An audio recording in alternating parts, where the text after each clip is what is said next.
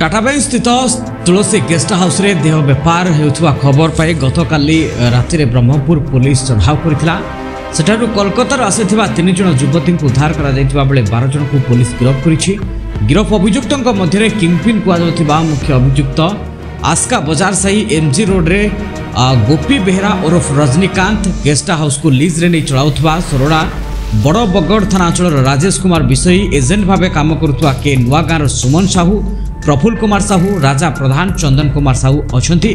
ଗ୍ରାହକ ଭାବେ ଆସିଥିବା ଛଅ ଜଣ ଅଭିଯୁକ୍ତ ମଧ୍ୟ ଅଛନ୍ତି ସେମାନେ ହେଲେ ଗୋଳନ୍ଥରା ଥାନା ଇନ୍ଦ୍ରାକ୍ଷୀ ଅଞ୍ଚଳର K Dibakar Reddy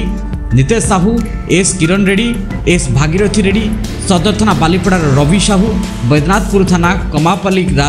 ରାମନଗରର କେ ଶଙ୍କରାଚାରୀ ଆଜି ସମସ୍ତ ଗିରଫ ଅଭିଯୁକ୍ତଙ୍କୁ କୋର୍ଟ ଚାଲାଣ କରାଯାଇଛି ଉଦ୍ଧାର ଯୁବତୀଙ୍କୁ ୱାନ୍ ଷ୍ଟପ୍ ସେଣ୍ଟର ପଠାଯାଇଥିବା ନେଇ ଜିଲ୍ଲା ପୋଲିସ ପକ୍ଷରୁ ପ୍ରେସ୍ ବାର୍ତ୍ତାରେ सुझाव दि SP doctor Saravana Vivek M प्रतिक्रिया अनुযায়ী প্রায় বর্ষে হব সে গেস্ট হাউসে এভাবে বেআইন কার্যকলাপ চাল এর কিংপিন অভিযুক্ত গোপী কলকাতার যুবতী মানুষ চালাণ করে আণুতা বেড়ে গ্রাহক যোগাড় পাই অভিযুক্ত এজেন্ট মানুষ নিয়োজিত করে সে হোয়াটসঅপ্র দুরুপযোগ করে এই কার্য সম্পাদিত করুলে সূত্রর এনে মিলিবা খবর পরে কিছু পুলিশ কর্মচারী সাদা পোশাকরে সেঠারে পৌঁছি প্রথমে অনুধান করে খবর সত্যাস জাঁয়া পরে পুলিশ সেঠারে চড়াও করে